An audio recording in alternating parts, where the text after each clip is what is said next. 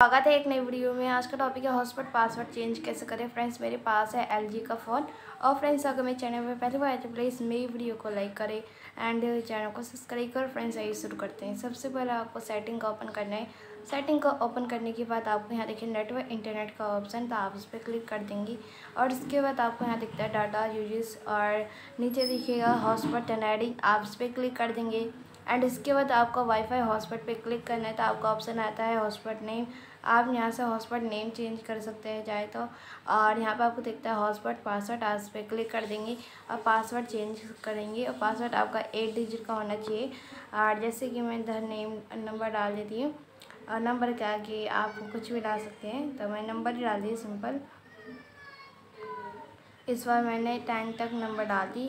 Counting डाल दी one two ten तक और इसके बाद आपको ओके पे क्लिक कर देना और आपका पासवर्ड डल चुका है। तो इस प्रकार से हॉटस्पॉट पासवर्ड डालेंगे और इसके बाद इस हॉटस्पॉट इस प्रकार से ऑन किया जाता है। इसको बैक करेंगे। इस प्रकार से ऑन होता है हॉटस्पॉट और इस प्रकार से ऑफ़ होता है फ्रेंड्स। इस प्रकार से ऑफ़ करेंगे तो आपका ऑफ़ हो जाएगा।